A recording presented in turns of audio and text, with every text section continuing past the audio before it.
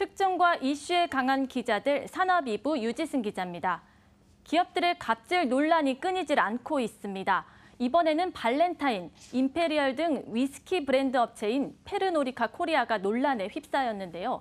현직 외국인 사장이 한 임원을 앞세워 직원들에게 폭언부터 성희롱까지 각종 폭언과 폭압적인 행위를 일삼아왔다는 진술들이 쏟아지고 있습니다. 회사 앞 시위 피켓에는 입에 담기도 힘든 각종 욕설을 했다는 내용들이 쓰여져 있는데요. 이런 이유로 직원들이 줄줄이 퇴사하는 것은 물론 한 직원은 충격으로 정신과 치료까지 받고 있다고 합니다. 자세한 내용 지금부터 시작합니다.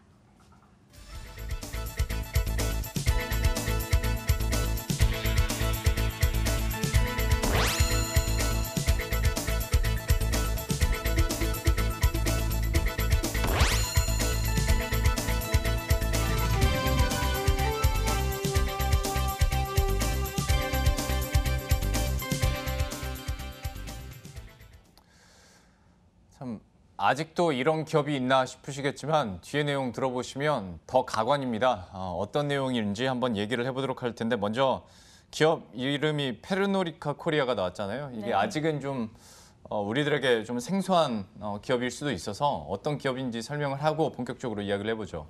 네, 프랑스에 본사를 둔 페르노리카는 1992년 한국 법인 페르노리카 코리아를 설립했습니다. 예. 국내에 진출한 지는 26년째인데요. 다른 국내에 진출한 다른 위스키 업체들이 한국인 사장을 두고 있는 것과 달리 이 페르노리카 코리아는 외국인 사장을 계속적으로 두고 있었습니다. 이 때문에 앞서 이 소통 논란을 빚기도 했었는데요. 예.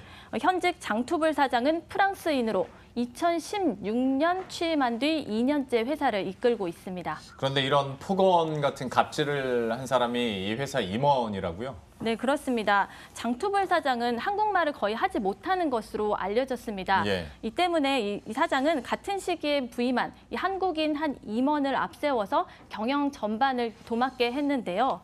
이 임원의 공식 직책은 전국 영업 총괄 전무입니다. 이, 이 페르노리카 노조 측은 장 사장이 이 임원을 앞세워 각종 갑질을 일삼아 왔다고 주장하고 있는데요. 예. 예, 그 첫 번째 근거로는 이런 문제에 대해서 사장에게 건의를 계속적으로 했지만 그 문제를 조사 제대로 조사를 하기는커녕 해당 임원을 계속적으로 옹호했다라는 게 어, 그 노조 측의 설명입니다. 예. 뭐 현재 이와 관련한 증거들을 가지고 조만간 고발장을 접수한다는 계획입니다. 그러면 이 임원이 어떤 갑질을 했는지 좀 설명을 해주셔야 될 것 같은데요. 어떤 사례들이 있습니까? 네, 페르노리카 코리아 노조 측은 이 임원이 뭐 계속적인 폭언은 기본이고 예. 여성 직원들에게 이제 성희롱적 발언을 계속적으로 일삼아 왔다고 주장하고 있는데요. 예. 예, 먼저 화면을 한번 보시겠습니다. 이제 뭐 제가 뭐 방송에서 직접 이렇게 언급하기도 좀 어려울 만큼의 예. 어떤 욕설들이 좀 많이 담겨 왔었는데요. 뭐 이뿐만 아니라 직원에게 뭐 고기를 이렇게 던지면서 먹으라는 등의 비인격적인 행위를 해왔다는 진술도 있었습니다. 만약 문제에 대해서 이의를 제기하거나 이제 저항할 경우 조직 개편을 통한 인사 보복이 이뤄지기도 했다는 설명인데요. 예. 예, 이런 행위에 대해 장투불 사장은 이 성과를 내기 위해 직원들을 독려하기 위한 리더십의 일종이라며 오히려 해당 임원을 감싸줬다는 주장입니다. 지금 나온 화면 보니까 청소하러 언제 올 거야? 토요일에 올 거야? 네, 토요일 말고 일요일에 가겠습니다. 이것도 만족을 못 해가지고 참 네. 그래 알았다 뭐 이렇게 당연하게 집안일 청소까지 시키고 있는데 직원들의 실제 진술도 한번 들어봐야 될 것 같아서요. 취재해봤더니 좀 어떤 내용이 나왔습니까? 네, 지금 뭐 확보된 뭐 10여 개의 진술서가 있는데요. 그 예. 중에 일부를 한번 보여드리겠습니다. 예. 이제 뭐 화면이 이제 바뀌어야 되겠는데 보시면요. 그 가운데 보이시나요? 이제 해당 임원이 껌을 씹다가 어, 사람 다른 직원들이 있는 앞에서 한 직원에게 내가 씹던 껌을 당신이 씹어라. 왜요? 어, 본인이 기분이 나쁘니까 이 껌을 당신 씹으면 기분이 좋아 내 기분이 좋아질 것이다 라는 뭐 발언들을 했다는 뭐 진술서가 있고요. 예. 어, 이뿐만이 아닙니다. 영업사원 뭐 차량 문제와 관련해게 어, 한 직원에게 여성을 비하하는 듯한 그 여성에게도 어떤 욕설 예. 뭐 직접 발언을 하지 못한 욕설 같은 것도 마다하지 않고 계속적으로 뭐 욕을 했다라는 지적이고요. 이 만약 판매 목표치를 채우지 못한 직원은 밥 먹을 자격도 없다라면서 음. 이 사람들이 다 지나다니는 길거리에서 어, 좋게 표현해서 머리를 박아라라는 땅에다가 아, 이제 머리를 예. 이제, 예, 이렇게 닿으라는 그런 발언을 해서 이제 직원들이 모멸감을 느꼈다는 어, 진술 또 어떤 직원에겐 주말에 자신의 집 청소까지 시켰다라는 진술들이 담겨 있습니다. 예. 또 직원과의 통화 내용도 있는데요. 한번 들어보시죠. 네, 교환을 해줘야 되는데 이놈 회사가 그것도 못하게 해, 요새. 그래요. 그게 그게 키포인트예요. 근데 아, 뭐 교, 교환은 내가 내가 풀어주도록 할 거야. 근데 어쨌든 새끼 왜 자꾸 딴 소리 해, 새끼. 야, 뭐 삐소리만 계속 들려가지고 근데 이게 어떤 상황인지 좀 설명을 해주세요. 네, 이제 뭐 문제 그 갑질 논란의 중심이 되고 있는 그 임원과 한 직원과의 통화 내용인데요. 예. 어, 다른, 별다른 상황이 없는데 이제 토- 대화를 하다가 직원이 임원의 말에 동조를 하지 않자 갑자기 욕설을 아. 퍼붓는 그런 녹취록입니다. 그러니까 내가 말했는데 리액션이 약했다. 네, 뭐 그런 식으로 좀 받아들일 수 있- 있을 것 같습니다. 해당 직원은 지금 현재 뭐 이런 이유 등으로 퇴사한 상태입니다. 그래서 욕을 하고 고기 집어 던지면서 먹으라고 그러고 대가리 박으라고 그러고 내가 씹던 껌 내가 기분이 나쁘니까 네가 씹으면 기분이 좋아질 것 같아. 정신병이죠.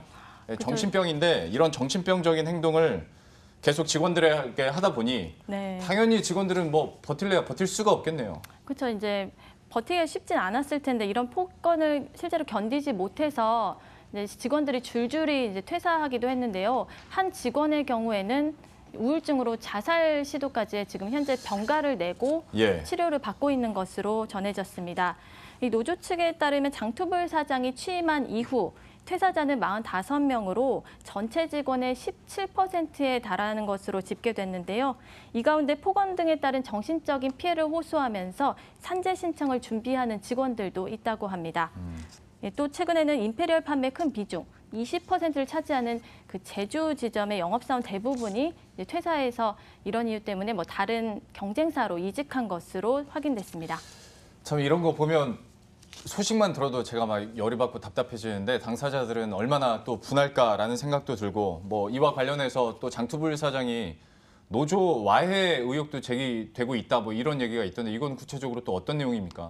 네, 뭐 이런 문제가 계속적으로 발생하다 보니까 노조 측에서는 직원들의 의견을 취합을 해서 예. 이제 회사에 건의를 했습니다. 하지만 이제 장 사장은 오히려 문제 제기를 하는 그 노조에 대해서 이제 노조를 와해하려는 시도를 했다는 게 음. 노조 측의 주장인데요. 예. 예, 뭐 구체적으로 보면 일부 직원들 앞에서 장투불 사장이 조합을 공격하고 싶다. 이 조합은 방해되는 존재다라는 발언을 했고 또 이 때문에 노사갈 갈등이 점차 증폭되면서 이번 사태에 이르게 됐다는 겁니다. 예.